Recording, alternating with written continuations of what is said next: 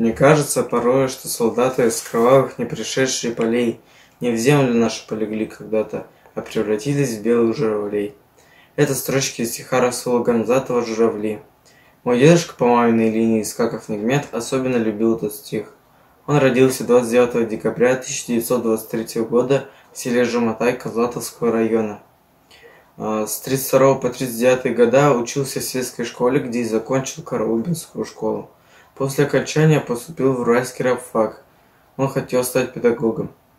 А, окончить его не пришлось, началась война. Месяц юноша осаждал военкомат, пытался приписать себе недостающий год, чтобы не отказали.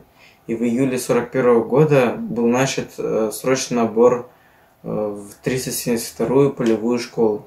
Его взяли курсантом, да еще и на курс пулеметчика, где он дотошно изучал свое оружие, радуясь, не уставая, разбирал и собирал пулемет, жадно учился на стрельбищей меткости, огневой тактической подготовке.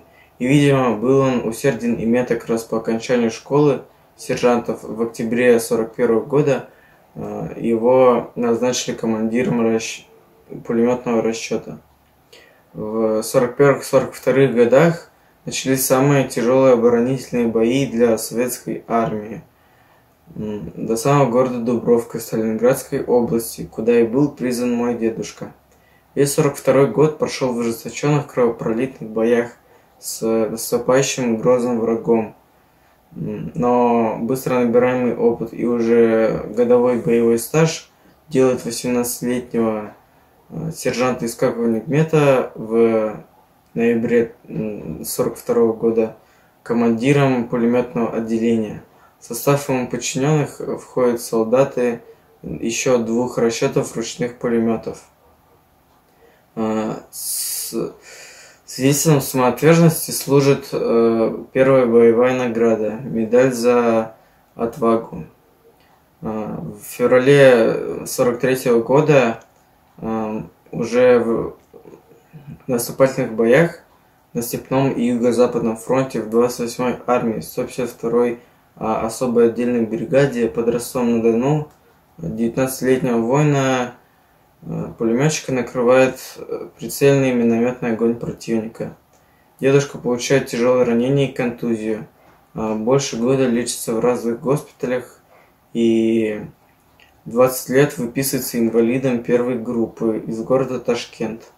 Э, только вернувшись домой, он узнает, что принимал, что когда он принимал последний бой, его мать на родине станицы Косталовка э, умирает, так и не увидав своего старшего сына, ушедшего на фронт. После демобилизации дедушка активно занимался партийной деятельностью. С мая 1944 года работал в колхозе. С декабря 1948 по 50-е годы а, работал председателем рабочего комитета Талды-Курганского конезавода. Работа на свежем воздухе и пешие километры от зари до зари а, затягивали ранения. А, женился, у него родились один сын и четыре дочери. Галим, Мадина, Батима, Галия и Алия. Это наша мама. Но война, на последствия войны, как взорвавшиеся мины настигли воина. И в 1971 году а, мой дедушка скоропостижно умер. Поэтому можно с полным правом сказать, что а, война 41-45 годов для нашей семьи самое-самое, что именно есть наша отечественная, то есть отцовская. Светлая память нашим отцам, дедам, фронтовикам.